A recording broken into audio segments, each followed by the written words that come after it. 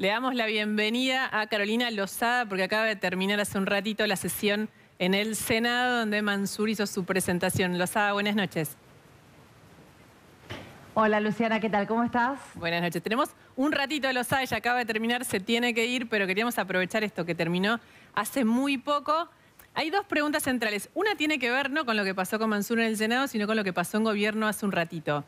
Los gobernadores fueron a hablar con el presidente y efectivamente lo apoyaron en esta idea de ampliar la Corte Suprema de Justicia de la Nación. ¿Están todos los gobernadores queriendo ayudar a Cristina de Lozada? Están obedeciendo, ¿no? El kirchnerismo siempre se, mostró como un poder que, bueno, ejerció el poder de esa manera, ¿no? Látigo y billetera, y es lo que evidentemente los gobernadores están sometiendo a lo que, a lo que quiere el kirchnerismo. La verdad que llevar a la Corte a 25 miembros, o sea, no es federalizar. El federalismo no se muestra en eso. El federalismo se muestra en, muchos otros puntos, pero seguramente no en eso.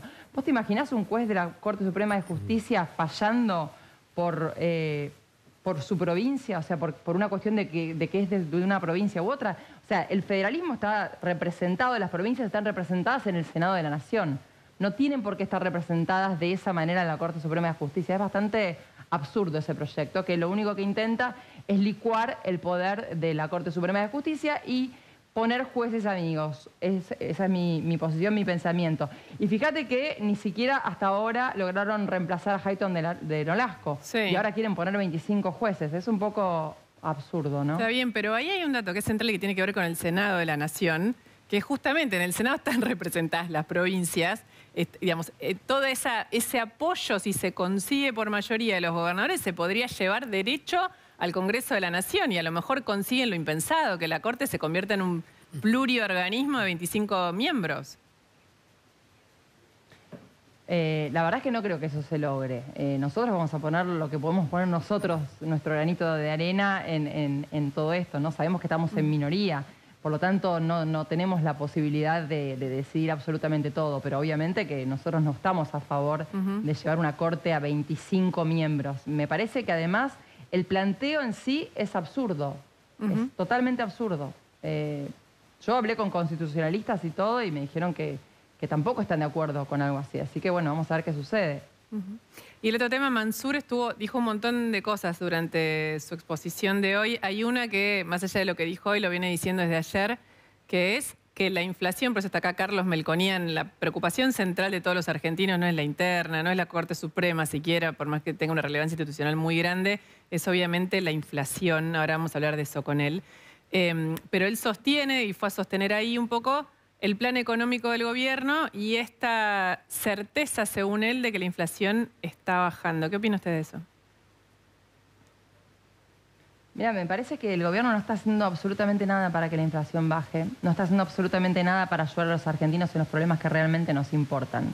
Eh, uno de ellos es, por supuesto, la inflación. Eh, la, realidad es que incluso la gente a la que ellos dicen defender, la gente que cobra planes, eh, no les alcanzan los planes. Entonces es muy difícil pensar que realmente están interesados en ayudar a los argentinos. Eh, no hacen nada para que las empresas puedan, las empresas puedan crecer y proveer a los argentinos de trabajo. Lo que necesitan los argentinos no son subsidios, no son planes, es trabajo genuino. ¿no? Es poder llevar eh, el fruto de su trabajo a su casa y comprar lo que ellos quieran comprar y crecer. La Argentina necesita crecer. Este gobierno no ha tenido hasta el momento ni una sola ni un solo atisbo de, buscar una política, un plan económico que sea sustentable, que sea realmente a largo plazo, que sea realmente pensando en un futuro para la Argentina. Lo único que se les cae como idea es aumentar los impuestos. Es lo único que se les ocurre. Pero mientras tanto las empresas se funden, mientras tanto realmente la gente no tiene trabajo. La gente incluso que tiene hoy subsidios quiere estar manifestándose en contra de ellos mismos. Fíjate que mucha de la gente que ellos creen y dicen defender está diciendo que quieren trabajar, que ya no quieren estar atados a un plan social eh, y tener obligaciones a partir de ese plan social porque después los llevan a las manifestaciones obligados. ¿no? Para mí es una, es una, es una forma de someter a la gente. Eh, porque esos planes sociales deberían tener eh, sí o sí una salida laboral, una salida laboral digna, y evidentemente no es lo que el kirchnerismo quiere, si no ya lo hubiera hecho. Carolina, te quiero hacer una pregunta sobre el plano electoral. En los últimos días dijiste, hablaste de la, de la formulación de las fórmulas en la oposición. Eh, tu nombre está sonando en el radicalismo muy fuerte. Algunos dicen que podría ser la candidata de Manes a vicepresidenta. Quería preguntarte si esto te gustaría, si te entusiasma.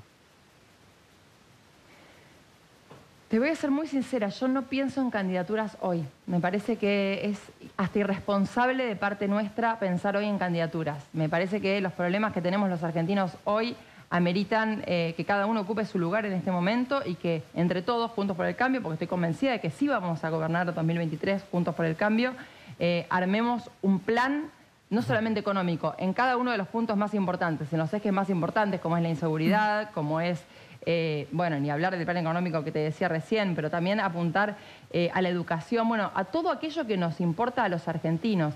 Si hoy estamos pensando en candidaturas, estamos sacando el foco de los problemas de la gente y ya estamos cansados de que los políticos estén mirándole, mirándose el ombligo. Me parece que tenemos que empezar a, conectarnos con la gente. Es lo que muchos de los que somos los, llamados outsiders, que nos metimos a trabajar en política, venimos a hacer, ¿no? A traer la voz de, de nosotros, los ciudadanos, en mi caso el Congreso de la Nación. Así que me parece que eh, pensar hoy en candidaturas es, eh, sería irresponsable de mi parte.